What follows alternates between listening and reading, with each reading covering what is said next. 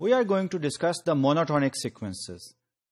If you remember sequence जो है sequence एक function है और sequence की जो entries हैं nth term जो है if I put the values of n equals one let's say sequence n equals one से onwards जो है उसकी terms start हो रही हैं so s1 s2 s3 so on and so forth अगर इस इन इनकी values को मैं इकट्ठा करूँ तो that will be a set और set के बारे में हमने इंक्रीजिंग डिक्रीजिंग सेट के बारे में तो हम बात नहीं कर सकते, लेकिन सीक्वेंसेस के बारे में हम ये बात कर सकते हैं कि सीक्वेंस जो है, वो इंक्रीजिंग है नॉन डिक्रीजिंग या नॉन इंक्रीजिंग है। ये टर्मिनोलॉजी जो है, आज सीक्वेंस के बारे में हमने रिफाइन करके फॉर्मल वे से डिस्कस करनी है, और उसी कोई सीक्वेंस अगर एक सीक्वेंस जो है नॉन डिक्रीजिंग या नॉन इंक्रीजिंग है, हम कहेंगे कि that sequence is monotonic sequence. So monotonic sequences are those sequences which are either non-decreasing or non-increasing. What does it mean by non-decreasing and non-increasing? ये आज के मॉड्यूल में हम डिस्कस करते हैं कुछ एग्जांपल्स करेंगे देन वेरी इंपॉर्टेंट रिजल्ट जो है वो डिस्कस करेंगे about the convergence of the monotonic sequences कि अगर कोई सीक्वेंस जो है वो मोनोटोनिक है तो उसका कन्वर्जेंस जो है वो किस तरह हम अंडरस्टैंड करेंगे? Let see what we have monotonic sequences ये हम डिस्कस करेंगे. If S N is non decreasing then limit of that sequence S N when N approaches to infinity equals the supreme of the set S N अब ये set S N जो मैंने अभी आपको बताया था, कि सीक्वेंस की टर्म्स को मैं एज अ सेट कंसिडर कर रहा हूँ। सेट मैंने बना लिया उस सेट की सुप्रीमम के बारे में बात किया जा सकता है।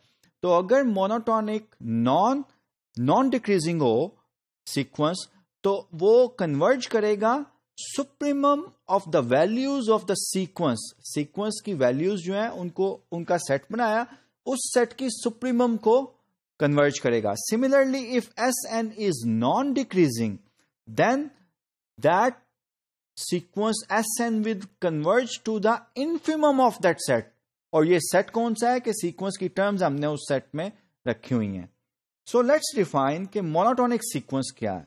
A sequence S N is non decreasing if S N is greater than और equal to S N minus one non decreasing का मतलब है कि ये इक्वल uh, भी हो सकते हैं और इंक्रीज एस एन जो है पिछली जो नेक्स्ट टर्म है वो पिछली टर्म से यहाँ इक्वल है यहाँ ग्रेटर है S N is greater than और equal to S N minus one S N minus one जो है वो पिछली टर्म है।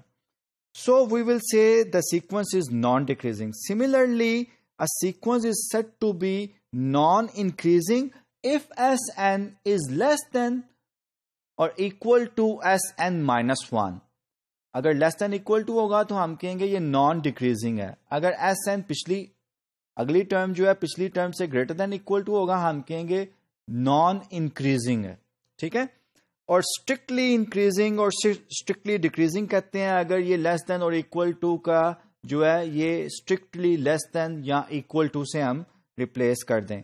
So a monotonic sequence if S N is non decreasing then limit of that sequence n approaches to infinity Sn equals supremum of the set जिसमें हमने sequence की terms रखी हुई हैं if Sn is non-increasing then that sequence Sn will converge and it will converge to the infimum of the set which set जिसमें हमने sequence की terms जो है वो रखी हुई हैं S1, S2, so on and so forth.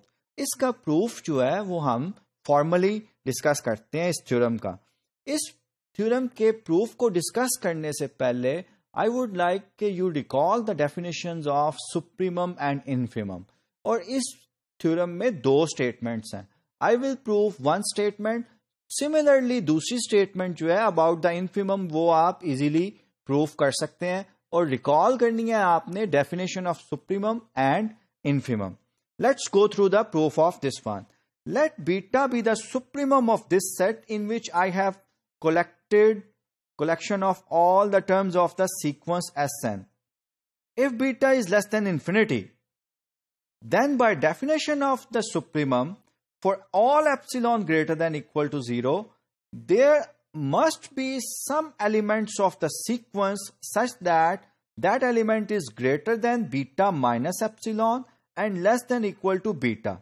अब आपको डेफिनेशन से सुप्रीमम की पता होना चाहिए कि ये ज़रूर एग्जिस्ट करेगा इस तरह के सीक्वेंस के एलिमेंट्स अगर ये एग्जिस्टेंस ना हो तो S capital N always greater than हो बीटा माइनस एप्सिलॉन के तो बीटा माइनस एप्सिलॉन जो है ये अपर बाउंड बन जाएगा which is less than beta लेकिन by definition of the supremum beta is the least upper bound है। उससे कोई छोटा रियल नंबर हमें नहीं मिल सकता जो कि अपर बाउंड हो। सो so, ये ट्रू नहीं होगा if beta is the supremum हमेशा ट्रू क्या होगा?